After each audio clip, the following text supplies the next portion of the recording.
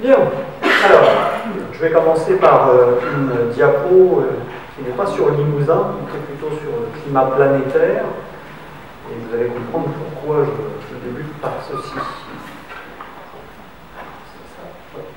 Donc, euh, par le biais de différents carottages glaciologiques, deux en Antarctique, un au Groenland, plus une étude de sédiments, on a donc euh, reconstruit euh, les climats du passé jusqu'à 500 000 ans, alors on peut aller jusqu'à 800 000 ans. Et ce qui est intéressant, c'est que sur cette vue, on a mis comme point zéro, si vous voulez, pour la, température, pour les anomalies, alors ce qu'on appelle le temps normal moderne, en fait, c'est celui des, euh, des 7000 dernières années, autour de 15 degrés.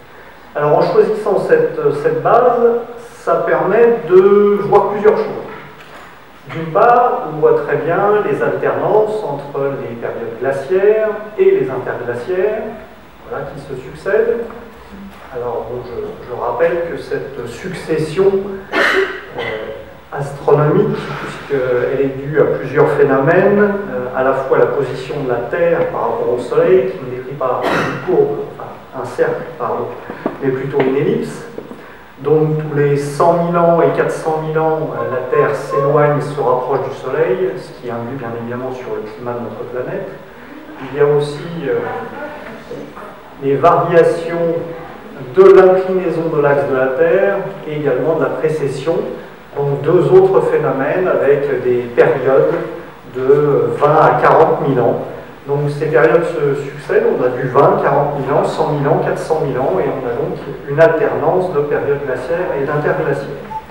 Ce qui est intéressant aussi de regarder, c'est l'amplitude, et donc par rapport à ce zéro que l'on a fixé, on voit que les périodes glaciaires peuvent être environ 15 degrés plus froides, et que par contre il y a eu quelques interglaciaires euh, assez chauds, on va dire, puisqu'on a atteint ici 7, 7 à 8 degrés.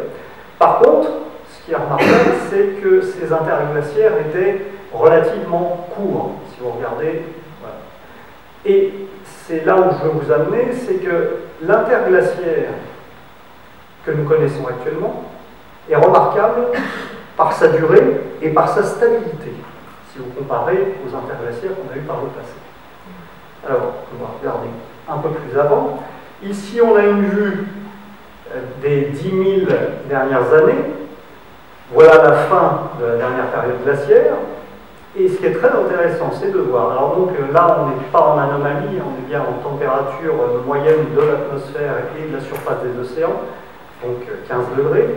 Et on s'aperçoit qu'on a une remarquable, vraiment remarquable comparée aux autres aires géologiques, stabilité climatique, puisque avec les optimums climatiques, par exemple de l'Holocène, on était 1 degré au-dessus, on a eu aussi quelques périodes froides, donc le petit âge de glace. Ici, on est à, peu près à 7 à 8 dixièmes en dessous du climat actuel, mais on s'aperçoit finalement que sur 10 000 ans, le climat a varié de plus 1 à moins 1 degré.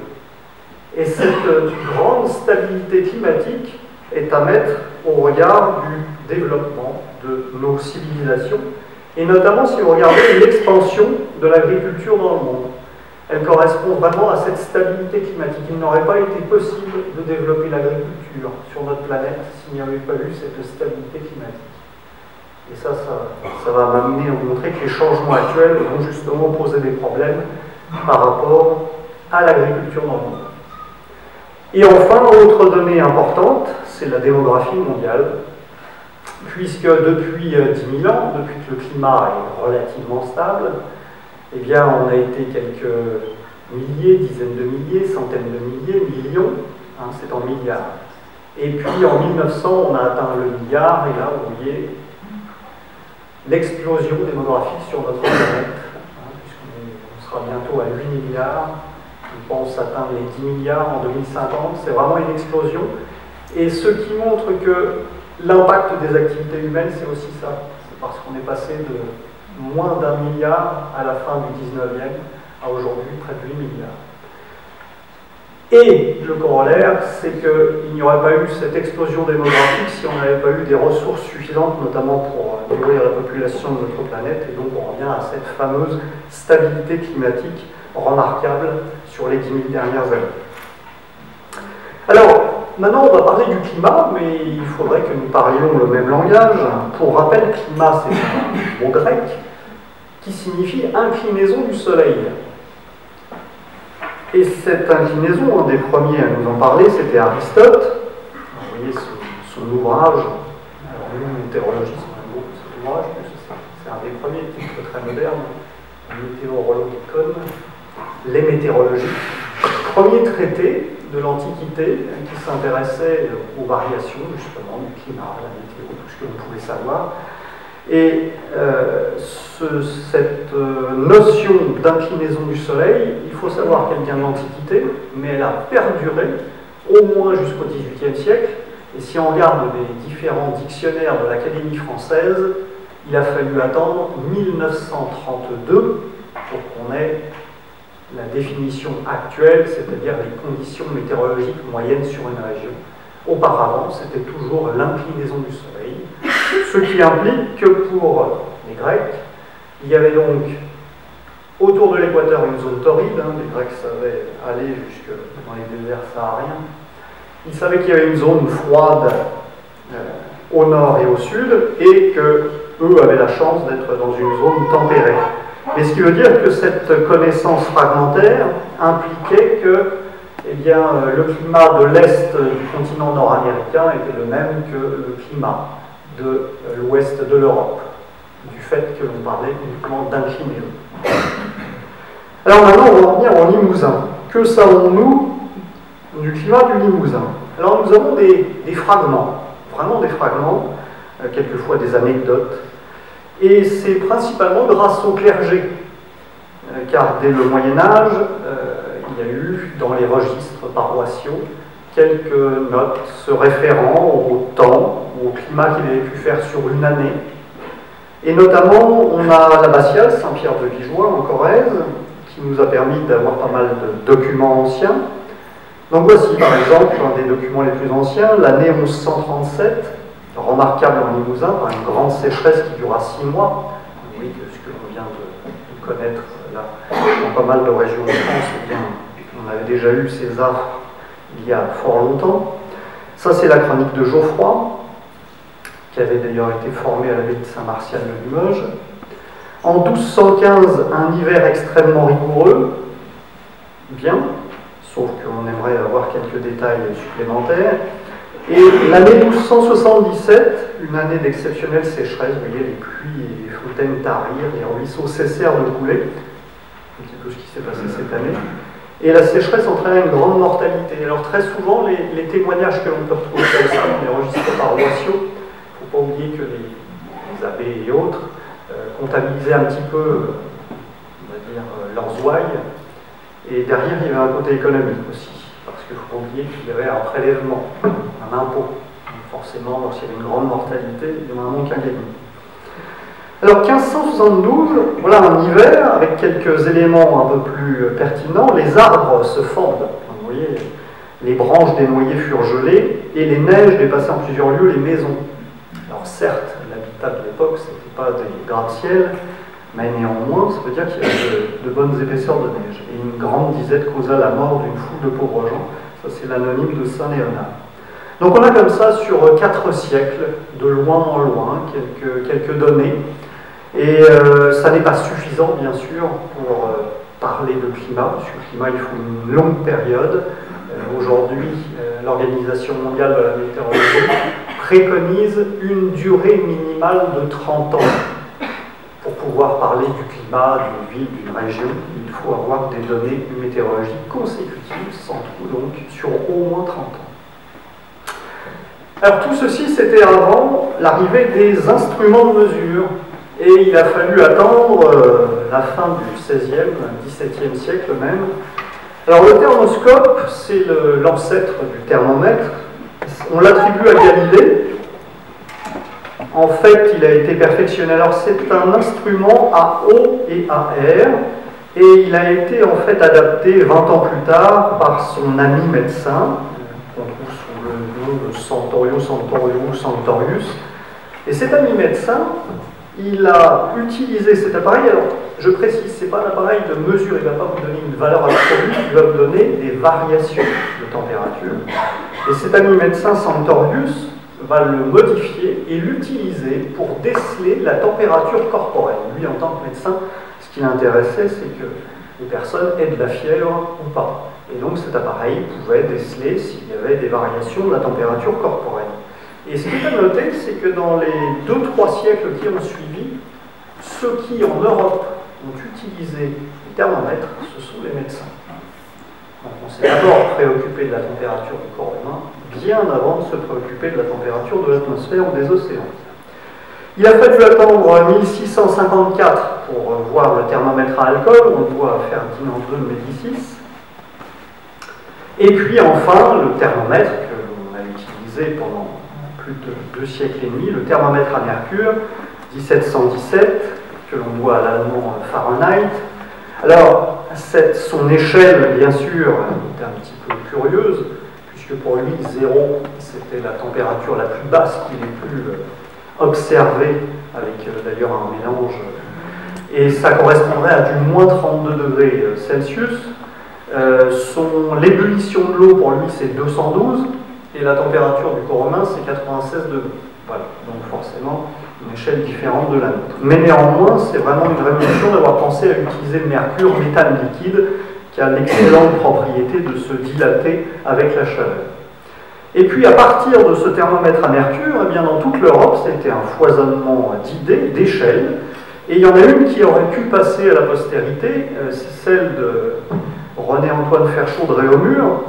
Réaumur a eu la bonne idée, par rapport à Fahrenheit, d'utiliser deux points essentiels sur les états de l'eau, le point de congélation, 0, très bien, et le point d'ébullition qui a mis à 80. On ne sait pas pourquoi il n'a pas pensé à 100. S'il avait pensé à 100, on serait passé à la postérité, aujourd'hui on utiliserait des degrés réaumur, ce qui ne fut pas le cas. Il faut savoir qu'à cette époque, les échelles de mesure de température, il y en a entre 50 et 60 en Europe. Ce qui veut dire qu'aujourd'hui, quand vous allez étudier des données anciennes, vous avez toujours l'écueil de savoir quelle était l'échelle utilisée. Et enfin, il a fallu attendre 1742 pour avoir cette fameuse gradation de 0 à 100, hein, entre le point de congélation et le point d'ébullition de l'eau. On le doit bien sûr à Anders Celsius, le suédois, alors pour la petite histoire, vous voyez ici son thermomètre, et vous voyez que le 0, c'était l'ébullition. Et 100, c'était le point de congélation. C'est l'inné qui a retourné l'échelle. Alors on aurait dû l'appeler thermomètre inné. Mais bon, on a gardé Celsius. Alors à Limoges maintenant, puisqu'on en vient au Limousin, puisqu'on a commencé à avoir des thermomètres, on va pouvoir commencer à mesurer les températures, eh bien on sait que les toutes premières mesures aurait été effectué à partir de 1709. Et euh, les premières dont on est sûr, c'est euh, le docteur Boyer, donc comme je vous l'avais dit, principalement euh, des médecins qui l'utilisaient entre 1773 et 1778, donc il utilisait des degrés réaumur. Et puis on a, plus on avance dans le temps et puis on a de données, des mesures effectuées donc à la fin du, 18e par Jacques-Joseph, juge de Saint-Martin, et vous voyez, là c'était intéressant parce qu'on commençait à avoir des données 57 jours consécutifs de froid, donc comprenez de gel, hein, du 13 novembre 1788 au 8 janvier 1789. Vous comprenez mieux les prémices de la Révolution française, puisque le climat avait été assez épouvantable dans les années qui avaient précédé, vous le savez, ça avait amené énormément de récoltes à être détruites avec la famine dans les campagnes françaises. Alors les arbres éclataient avec fracas dans les forêts, et sur la Vienne, essayez d'imaginer, je pense que même les plus anciens ici ne l'ont pas vu, 75 cm hein, sur la Vienne, voilà une belle patinoire. En 1855, ça pour, pour nous, météo, c'est vraiment une date importante. Euh, l'astronome Le Verrier qui crée le premier réseau de stations météorologiques en France. Alors là encore, il y a une petite histoire. Vous savez que malheureusement, en France, en Europe, il faut qu'il y ait des catastrophes pour que l'on avance dans les sciences. Alors là, la catastrophe, c'est la guerre de Crimée. 1854, toute la flotte française détruite par une tempête, avant même de livrer bataille. Donc Napoléon III, plutôt furieux, se retourne vers qui Il n'y a pas de météo à l'époque, donc il se tourne vers un astronome. L'astronome, il regarde le ciel, il doit comprendre un petit peu à ce qui se passe. Et il demande à Leverrier, mais est-ce qu'il n'aurait pas été possible de prévoir cette tempête et de mettre nos bateaux à l'abri? Leverrier se tourne vers les gazettes imprimées de l'époque et il s'aperçoit qu'effectivement cette tempête a traversé toute l'Europe et que si on avait eu un réseau de correspondants chargés d'annoncer suivi cette, cette tempête, on aurait pu mettre nos bateaux à l'abri. Et donc, Leverrier va créer le premier réseau de stations météorologiques en France, et Limoges est l'une des 13 premières stations équipées d'un télégraphe. Donc le principe était simple, on mesure la température, les le vent, tous les instruments dont on dispose, et l'on transmet au bureau central à Paris par télégraphe, et au bureau central, on va pouvoir commencer à tracer les premières cartes du temps qu'il fait, les premières cartes d'analyse. Ensuite, eh bien, il y a différents acteurs, par exemple la direction des ponts et chaussées qui installe un poste pluviométrique à Saint-Léonard, et ensuite on a des postes à Limoges, à Bellac, à Émoutier. Euh, très souvent, ce qui influait sur le choix, ce n'était pas l'intérêt euh, climatique du lieu, mais plutôt le fait qu'il soit bien desservi par des routes, qu'il soit facile d'accès. Et enfin, à partir de 1835, un réseau d'observateurs d'orage.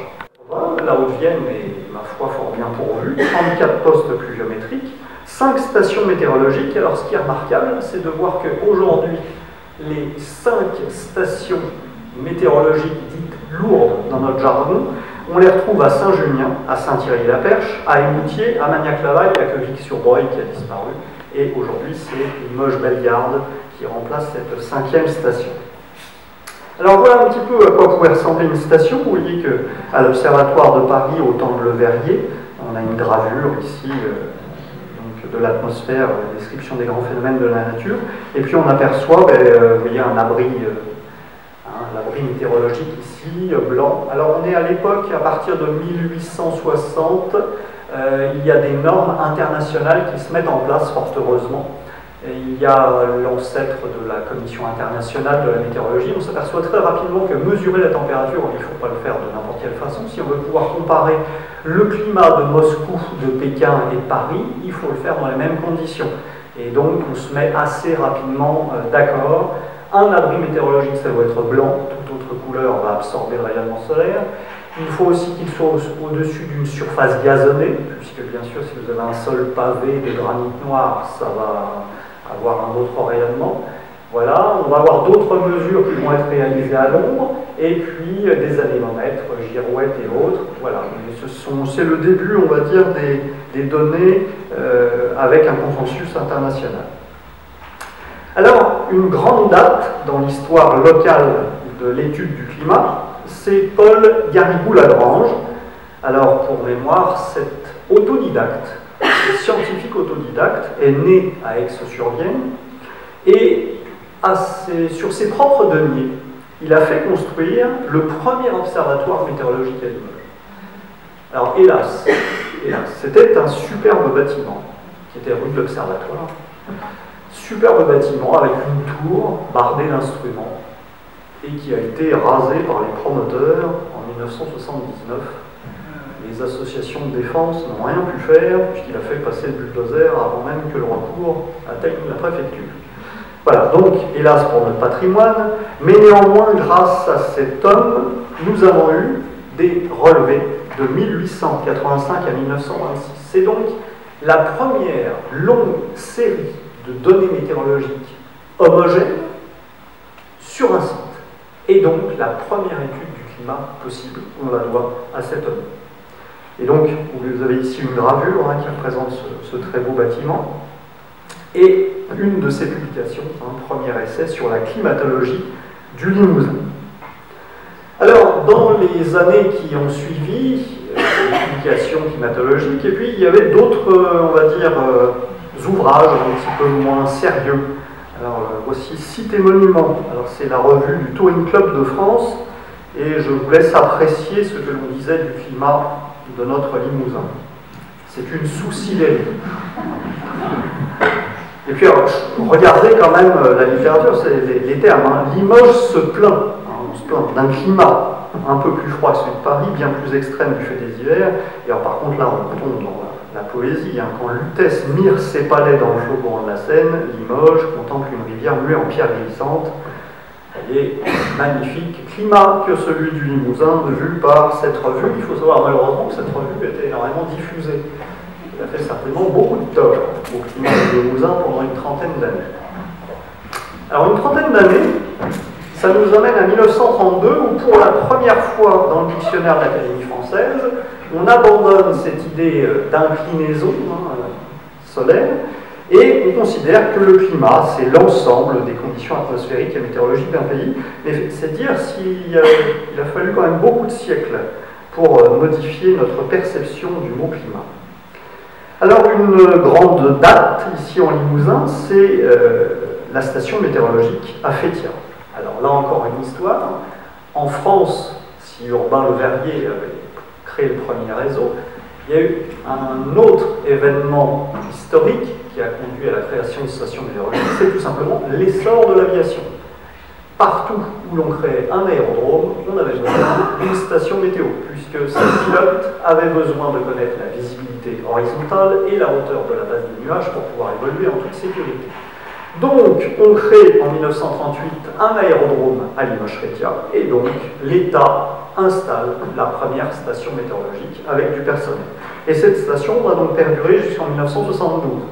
Elle aurait pu rester, sauf que, eh bien, à l'époque, Limoges commence à avoir une expansion au niveau urbanisme, et euh, l'aérodrome de Fétia ne peut plus s'agrandir, et donc ne peut plus accueillir des avions qui sont de plus en plus gros et ont besoin de longueurs de piste plus conséquentes.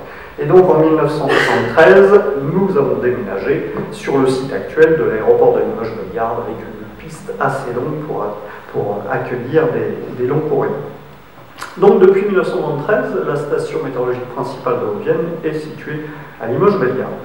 Ce qui veut dire que nous avons une longue série de données, mais ça veut dire aussi que dans le même temps, on a installé, alors je vous l'ai dit, Station principale à Limoges, mais donc à Magnac-Laval, Saint-Junien, Évoutier, Saint-Thierry-la-Perche, on a installé des, stations lourdes. Et puis vous apercevez, alors il y en a 5 en Vienne, 6 en Creuse, 7 en Corrèze, et puis vous apercevez tout un tas d'autres petits points. Alors il y a deux genres de, sites. Vous avez soit un petit cercle, auquel cas c'est tenu par un bénévole, et ça, ça peut l'être depuis, depuis Et par contre, que voyez un triangle, ça c'est une station automatique. Et là, par contre, il faut savoir que les stations automatiques, on les a installées dans les années 90. Je le signale parce qu'il y a des étudiants qui nous demandent des séries de données qui, qui ne sont pas assez euh, intéressantes, puisque toutes les données automatiques, c'est en gros les années 94-95. Néanmoins, vous voyez que notre région est assez bien couverte en poste thermométrique, pluviométrique, pour pouvoir justement étudier le climat de toute la région du Limousin et pas simplement des villes principales. Voilà par exemple un poste bénévole. Alors qu'est-ce qu'un poste bénévole? C'est un bénévole qui accepte que nous allions installer dans son jardin un abri météorologique sur un sol gazonné, un pluviomètre et qui s'engage, ça c'est le bénévole, tous les jours de l'année, sans prendre de vacances, à faire des relevés. Matin, tous les matins, donc à 6 heures, temps universel, 8 heures en été, 7 heures en hiver, à les vider de pluviomètre, et deux fois par jour, matin et soir, relever les thermomètres mini et maxi. C'est ça un bénévole. Et il y en a, ça, fait plus de 40 ans qu'ils font ça. Et voilà le relevé d'un bénévole. Vous voyez, il a par mois, une feuille à remplir sur laquelle il va nous donner donc les hauteurs de pluie quotidiennes, les températures mini-maxi, plus des observations. C'est absolument admirable hein, le travail qu'ont fait ces bénévoles. J'ai vu des, relevés de Creuse qui datent du, début du XXe siècle. il y avait, euh, en plus des observations diverses, il y avait des observations phénologiques sur le passage des grues, ça. Vraiment admirable. Et puis à côté, il y a donc depuis, euh, comme je l'ai expliqué, depuis le milieu des années 90 des stations automatiques, comme ici à Saint-Junien, donc à Saint-Julien, vous avez le parc à instruments, hein, c'est sur l'aérodrome Maris d'Acier, et vous avez les appareils de mesure qui sont reliés automatiquement. Alors reliés par euh, un fil téléphonique, aujourd'hui on, a même du, GSM, hein, c'est sans fil, et puis le mât anémométrique, puisque, c'est juste pour citer, le vent officiel, la mesure de vent officiel, c'est 10 mètres au-dessus du sol. Donc voilà ce qui va nous donner beaucoup de données sur le Limousin. Alors par exemple, si je prends la température à Limoges-Bellegarde, que je choisis euh, le paramètre température maximale, je choisis le mois de janvier, vous voyez tout ce que l'on peut euh, avoir. Alors on va ici avoir les minimums historiques avec les dates. Euh, au plus froid, je crois qu'on a du moins 12 degrés ici en 85, donc un 14 janvier. Et puis de l'autre côté, ben, les, les, jours les plus chauds, vous voyez, on avait un 16 degrés 2 ici en 92. Et ça nous permet d'avoir une moyenne et ensuite de faire, de diviser en quintile. Donc voilà tous les renseignements euh, que l'on peut tirer d'une longue série de données, hein, puisque là on a plus de, plus de 40 ans, hein, presque 50. Alors voici quelques records hein, grâce à cette longue série de données.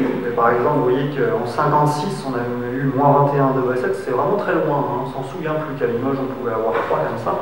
40 degrés 4, alors je signale, 40 degrés 4, c'est depuis que nous avons installé une station météorologique dans les jardins de l'évêché. D'accord?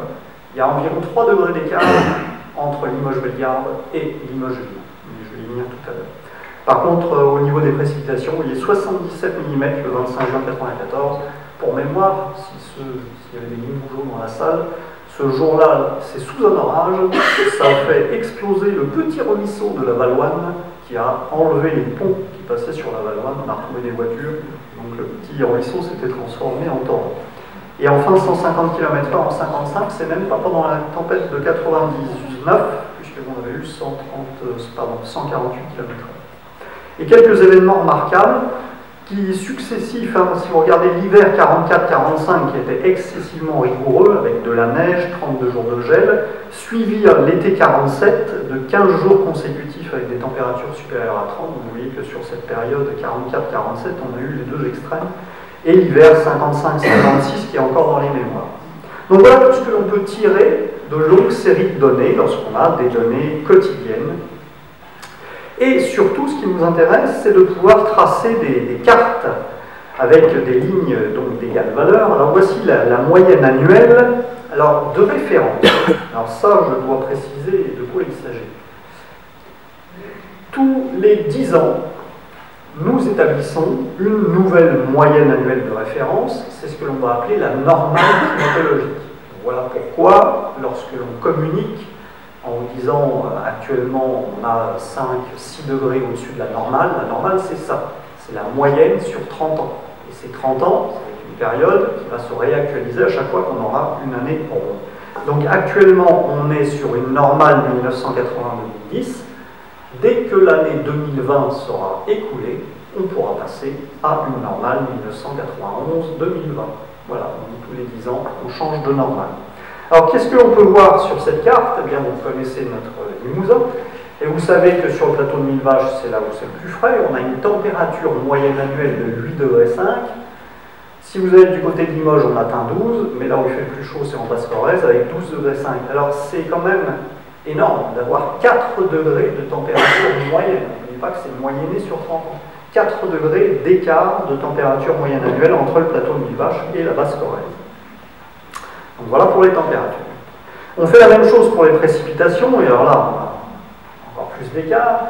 Donc vous le savez, il y a le plateau de Village qui va jouer, c'est ce qu'on appelle le côté orographique, c'est-à-dire que les précipitations qui viennent majoritairement de l'ouest et du nord-ouest vont se bloquer, et par euh, blocage, eh bien, on va verser davantage d'eau, et puis il y a aussi le soulèvement, c'est-à-dire une masse d'air qui ne précipite pas, par exemple, ici sur le pays Saint-Julien, une fois qu'elle est soulevée ici par les contreforts du massif central, en soulevant la masse d'air, ça va l'amener à se condenser, ça va l'amener à précipiter.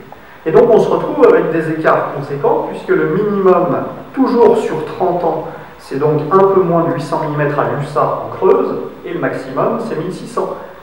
Ce qui veut dire qu'on est du simple au double sur la région Limousin. Et ce qui va rendre notre travail de déceler une tendance d'évolution beaucoup plus difficile. Alors, maintenant, je vais vous amener sur une application qui a été créée en 2015, puisque Météo France avait sur le territoire métropolitain les archives climatiques dans beaucoup de villes de au moins 50 ans de quelquefois 60, 80. Euh, pour mémoire, euh, les trois villes qui ont les plus longues séries de données en France sont Paris, Paris-Montsouris, on a 120 ans de données, Besançon, et le Montéguel, qui a débuté en 1885.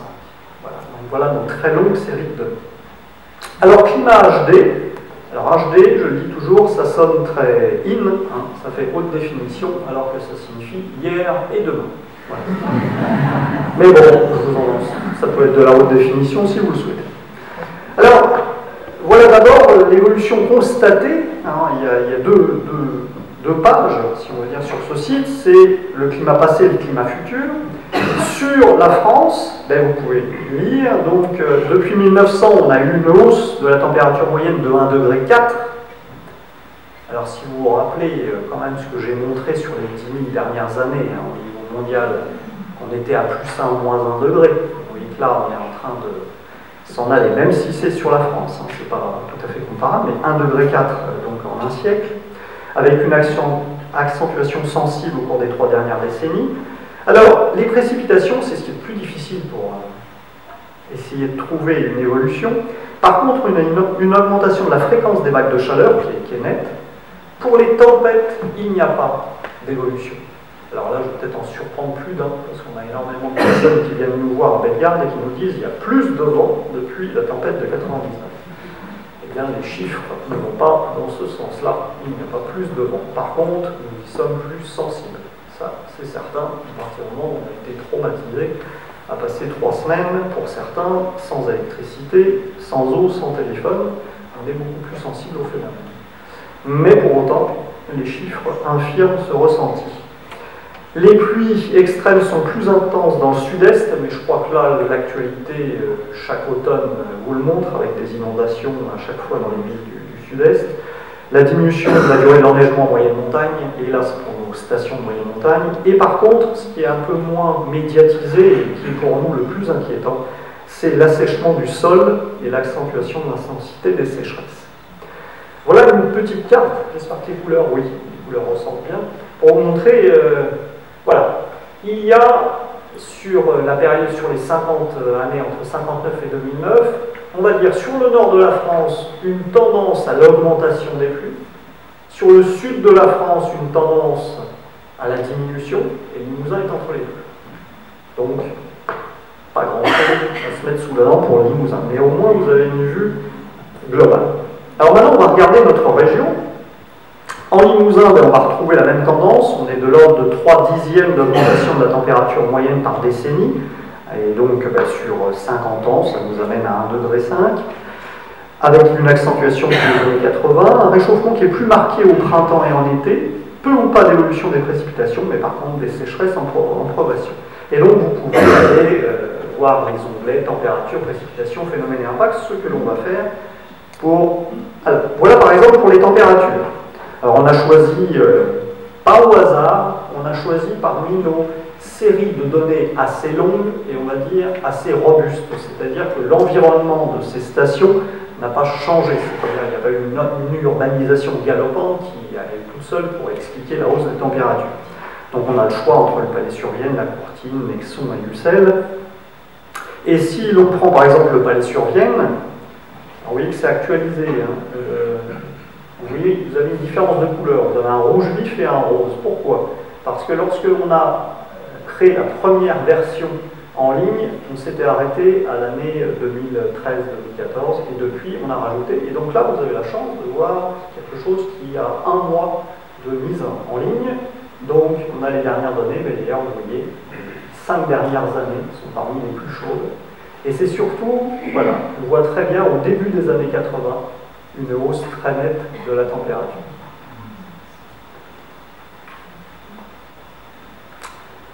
Le corollaire à l'augmentation de la température moyenne, c'est qu'il y a aussi une augmentation du nombre de journées chaudes. Alors là, je signale que journée chaude, en météo, en climatologie, la chaleur, c'est à partir de 25 degrés. Donc dès que la température maximale est supérieure ou égale à 25 degrés, vous avez une journée chaude. Alors on a pris la Courtine, qui devrait être pourtant un des sites les plus frais du Limousin. Et vous voyez qu'à la Courtine, on est passé de 20 à 40 jours. On a, doublé le nombre de journées chaudes à la Courtine. Donc c'est quand même euh, conséquent. Et à l'intérieur de ces journées chaudes, il y a des journées très chaudes. Alors, le sol de très chaud, c'est 30 degrés. Température maximale supérieure ou égale à 30 degrés. Ce qui nous amène à parler des vagues de chaleur. Donc lorsqu'on a justement une succession de jours avec des températures maximales supérieures à 30 degrés. Alors, quand vous irez, vous l'avez peut-être déjà fait, vous pouvez euh, jouer avec le curseur. Je l'ai volontairement mis à 83, ça permet d'avoir des données grisées. Ce qui saute aux yeux, c'est que quand on regarde les vagues de chaleur, il y en a eu 4 entre 1947 et 83, et plus d'une vingtaine entre 83 et 2019. Donc les vagues de chaleur sont significativement plus nombreuses. Ensuite, vous avez ici la durée, ici l'indicateur de température. Alors ça c'est une question qu'on me pose souvent, comment est-ce qu'on calcule cet indicateur de température? On fait la moyenne sur une trentaine de stations météorologiques françaises qui ont été choisies pour bien réparties sur le territoire. Et donc c'est la moyenne des températures, c'est ça cet indicateur. Et vous voyez que ce dégage 2003, qui en intensité et en durée était très haut, mais vous voyez que immédiatement ce que l'on vient de vivre cet été, avec deux vagues de chaleur, on a une en juin remarquable, on a atteint 46 degrés dans le Gard, puis en juillet, on a atteint 43 degrés en région parisienne, et en termes d'intensité 2019, on a identifié qu'effectivement, dans les villes, et surtout dans les grandes villes, eh bien, le fait que tout soit bétonné, bitumé, avec très peu de surface végétalisée, eh bien, vous aviez une accumulation donc, de chaleur qui, au cours d'un épisode de forte chaleur, ça va s'accumuler jour en jour. Il y a une inertie thermique. Et vous voyez ici les écarts hein, qui sont conséquents, puisque dans les campagnes environnantes, par exemple, vous avez une température de moins de 29 degrés. Dans les villages, vous êtes déjà à 30-31 degrés à cause du bâti. Dans les villes, alors ça, c'est à peu près l'écart qu'on a à Limoges. Hein. Euh, Limoges, on a à peu près 3 degrés d'écart entre Limoges intramuros et la campagne environnante. Mais si vous prenez de grandes villes comme Paris, ben là, la température s'envole, vous avez un gradient qui peut être de 6 voire 7 degrés supplémentaires si vous habitez en Et ce qui amène cette, euh, à la fois la notion d'inconfort, c'est très très inconfortable d'habiter en ville lorsqu'il y a une vague de chaleur, et derrière même de risques sanitaires, pour mémoire, 2003, il y a eu 15 000 décès supplémentaires. En 2019, il y en a eu 1500. C'est pas parce que c'était moins important, c'est tout simplement parce qu'on a mis en place des protocoles justement pour éviter que notamment les personnes âgées se retrouvent seules, déshydratées et autres. Donc il y a un plan de prévention qui fonctionne, mais il y a quand même 1500 décès supplémentaires cet été. Alors, l'autre corollaire, c'est qu'on a plus de vagues de chaleur, mais par contre, les vagues de froid, elles sont moins nombreuses et moins intenses. Vous voyez que celle de la corps, c'est 56, à la fois en intensité et en durée, suivi de 85. Et en fait, la dernière vague de froid que l'on a eue, c'était quand même il y a 7 ans, en, 2012. Vous voyez toutes les, toutes les données anciennes. Donc 56, 85, 87, 54. Je pense que là, vous avez les années qui ont pu marquer euh, vos mémoires pour le froid en Limousin. Alors pour les précipitations, comme je le disais, il est très difficile de voir une tendance. Je vais quand même choisir Argenta. On voit une ébauche de signal. Vous avez ici les variations. Mais il faut que vous vous souveniez quand même qu'il y a des, grandes variations déjà géographiques hein, entre les 800 de l'USA et les 1600 de l'UJA. Il y a aussi des, variations temporelles. On voit que par moment on est à 30% au-dessus de la normale, par moment on est 30% en dessous de la normale, mais c'est une variabilité naturelle. Par contre, par exemple sur Argenta, il semble que depuis le début des années 2000, on ait davantage d'années déficitaires en précipitation que d'années excédentaires. Sauf que, pour se prononcer, il nous faudrait 30 ans. D'accord? Et là, le début 2000, c'est trop court. Donc j'aurais tendance à vous dire, je vous donne rendez-vous en 2030. On verra s'il y aura une tendance. Mais non, mais c'est ça. Ça, c'est une donnée très récente, puisque euh, vous savez que nous vient de vivre une sécheresse qui a fortement impacté le Limousin, hein, les trois départements. Et ça, c'est simplement sur le département de la Corrèze pour vous montrer. Alors, que signifie agrégé On a pris tous les postes pluviométriques du département de la Corrèze, on a fait la moyenne de tous les postes, c'est ça, que ce soit agrégé. Et vous voyez ici, en janvier, vous devez avoir 100 mm, on les avait presque. En février, on a commencé à être déficitaire. On a gardé ce déficit jusqu'au printemps, et puis alors là, ça a commencé à s'aggraver. Résultat, au mois de septembre, alors je ne comptabilise pas les pluies de ces derniers jours, mais en septembre, c'est-à-dire qu'on était à peu près à 250, voire plus, millimètres de déficit. C'est l'équivalent de trois mois de pluie. Et donc, euh, il me paraît assez délicat. Euh, là, bien sûr, il pleut, mais pour autant, nous sommes toujours dans une situation de déficit pluviométrique. Parce que rien ne dit que d'ici le mois de décembre, on réussisse. Il faudrait vraiment des mois très, très excédentaires pour rattraper ce déficit de 250 mm de pluie. Et puis, surtout, les sécheresses des sols sont plus fréquentes et plus sévères. Ici, c'est le pourcentage de la surface en Limousin touchée par la sécheresse. Et vous voyez qu'il augmente. On était de l'ordre de 5% dans les années 60 euh, et on est aujourd'hui à 10%. Donc, euh, il faut prendre ça aussi en compte. C'est la surface touchée par cette sécheresse qui, est en augmentation. Et vous voyez que certaines années, c'est la moitié, hein, la moitié des sols du Limousin qui a été euh, impacté par la sécheresse, tout à fait important. Alors j'en viens aux paramètres qui nous préoccupent le plus. C'est l'indice d'humidité du sol. Parce que c'est ce qui concerne vraiment l'agriculture. Alors, vous avez en orange la courbe moyenne, hein, toujours euh, sur la moyenne 1961-90. Et puis vous avez ici l'extrême, les records secs, et ici les records humides. Et donc, vous avez sol très humide, sol humide, sol sec. Donc, le sol sec, il débute là. Ce qui veut dire que sur la moyenne 61-90, le sol sec débutait en Limousin vers la mi-juillet, pour se terminer vers la mi-septembre. Voilà ce que l'on connaissait, deux mois en moyenne, hein, deux mois de sol sec. Deux mois pendant lesquels nos agriculteurs, principalement éleveurs, devaient faire face donc avec une absence d'herbe, de mettre les animaux à l'herbe dans ces cas-là. Maintenant, si on met la moyenne 81-2010, donc un glissement de 20 ans, on s'aperçoit qu'en 20 ans, il y a un déficit de l'ordre de 4 à 5 hein. Presque toute l'année, en fait, sur les trois quarts de l'année, on retrouve ce. Voilà. On a un sol plus sec, on va dire euh, environ 9 mois sur 12 un sol plus sec. Et vous voyez, là, ici aussi, un petit peu en durée. On gagne quelques jours sur, sur septembre, c'est-à-dire on recule environ d'une semaine. Donc ça, c'est déjà préoccupant dans l'observation. Maintenant, on va parler des climats futurs. autant il était simple de se baser sur l'observer, du mesurer, autant les climats futurs, ça peut traiter la question. Alors, un modèle de climat, c'est complexe. C'est très différent d'un modèle de prévision météorologique. Souvent, les gens posent des questions. Euh, je, vais faire très court pour la météorologie, ça pourrait être l'occasion d'un autre exposé. Comment est-ce qu'on prévoit le temps pour demain? Tout autour de la Terre, on mesure, on observe. On rentre toutes ces observations dans un calculateur.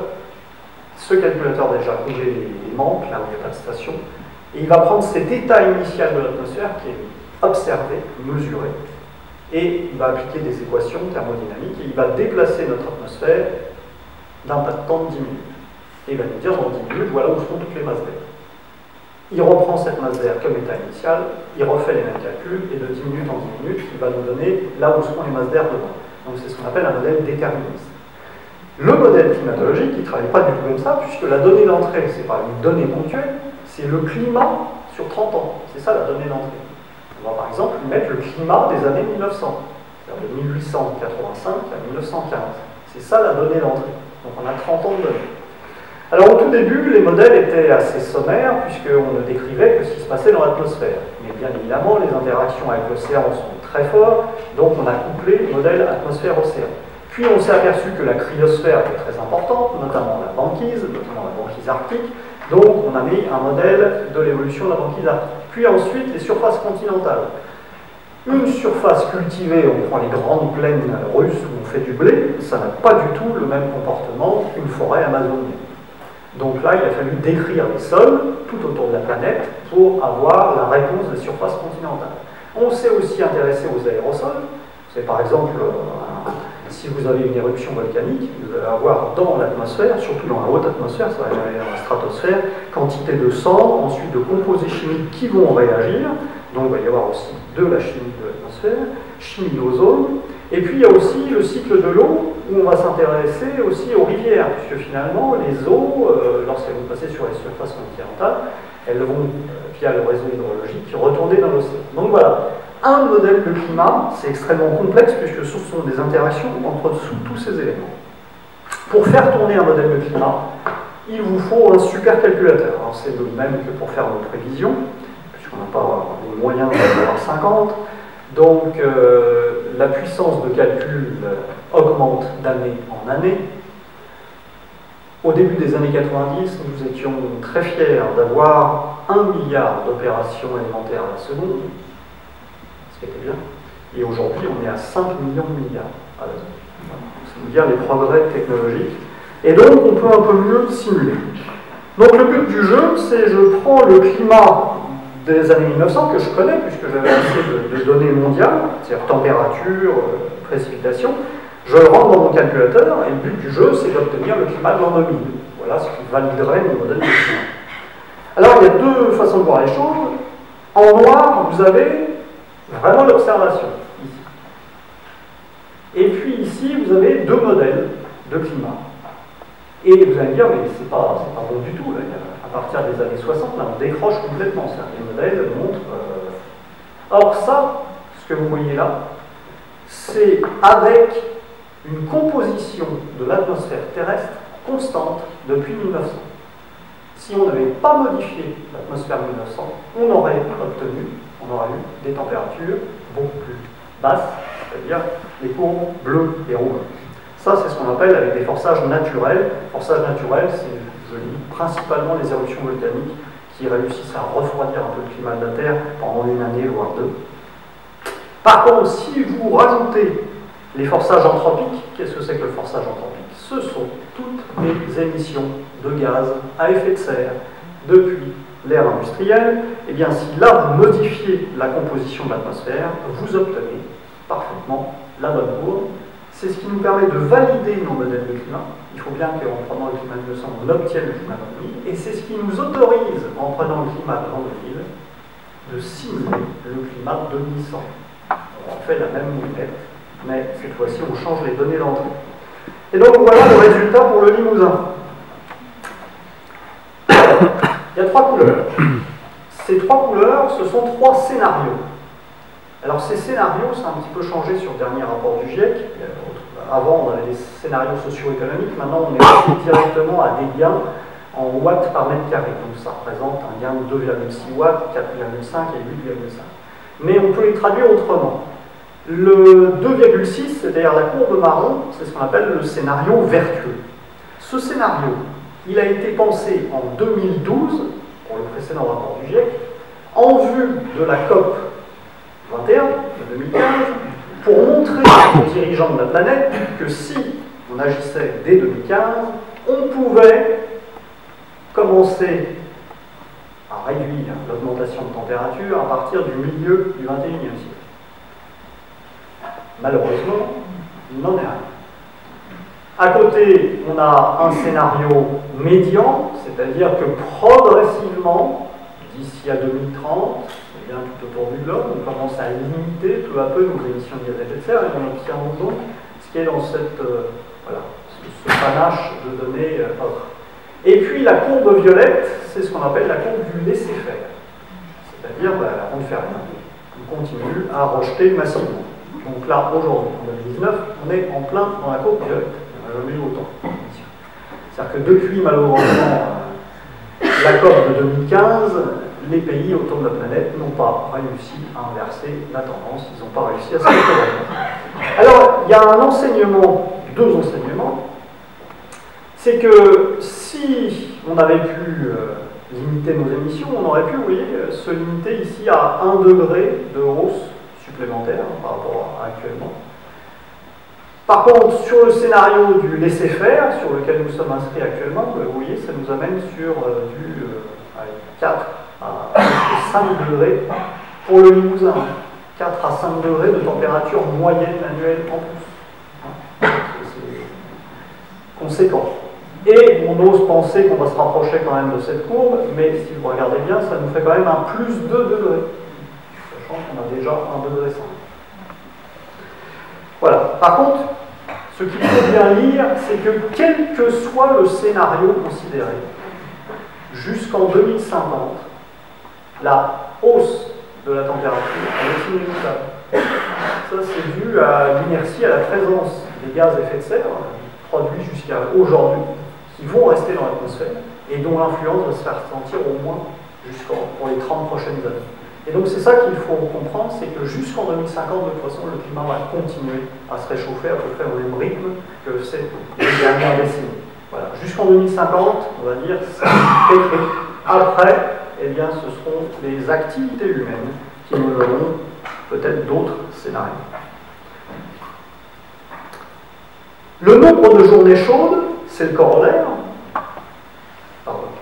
Le nombre de journées chaudes, vous voyez qu'il augmente significativement, puisqu'on était à 40 journées chaudes, et si on regarde, on va passer à 60 journées chaudes. C'est quand énorme, hein. c'est 50% d'augmentation. Et vous savez que parmi ces journées chaudes, il y a des journées très chaudes et donc des vagues de chaleur. Et donc là, on sait qu'on va, ça c'est une de nos certitudes, hein, on va avoir de plus en plus de vagues de chaleur et d'événements extrêmes liés à la température. Et alors, bien sûr, vous pouvez suivre, euh, ici on serait à près de 100 journée chaude en 2100 si on ne fait rien. Concernant les précipitations, il eh bien là, difficile de voir un signal sur la quantité de précipitations annuelles. Vous voyez, très difficile, hein, les trois courbes sont très proches.